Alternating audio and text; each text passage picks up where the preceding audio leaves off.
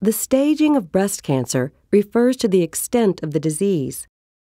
The cancer stage is based on several factors, including the size of the tumor, if any lymph nodes are involved, if the cancer is invasive or non invasive, and if the cancer has spread to areas beyond the breast. Stage 0 is considered a non invasive breast cancer. In this stage, there is no evidence that the cancer cells have spread into neighboring breast tissue beyond the duct or lobule. Stage 1 is considered an early stage of invasive breast cancer.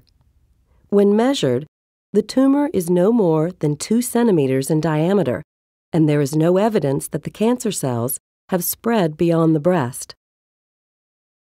Stage 2 is divided into subcategories of 2A and 2B. Stage 2A is invasive breast cancer, where the tumor is either a maximum of 2 centimeters in diameter and has spread to the lymph nodes under the arm, or the tumor is between 2 and 5 centimeters in diameter but has not spread to any lymph nodes.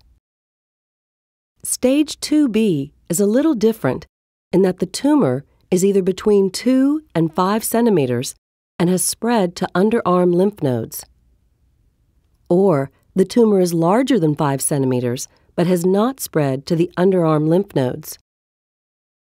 Stage 3 is considered a locally advanced cancer, and it is also divided into subcategories of 3A, 3B, and 3C.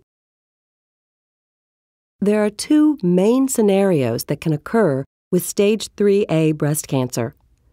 One where the tumor is no larger than 5 centimeters in diameter, but it has spread to underarm lymph nodes that are growing into each other, forming clumps. The cancer may also have spread to the lymph nodes near the breastbone.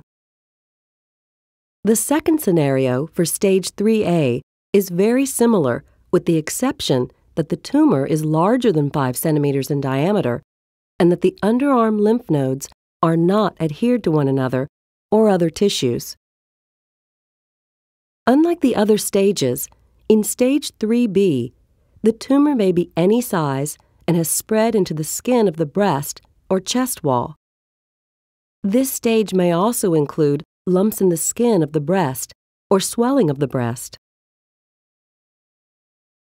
In stage 3C, the tumor may also be of any size, but it has also spread to lymph node areas above or below the clavicle, the chest wall, and or the skin of the breast. Stage 4 is considered distant metastatic cancer, meaning the cancer has spread to other organs and parts of the body.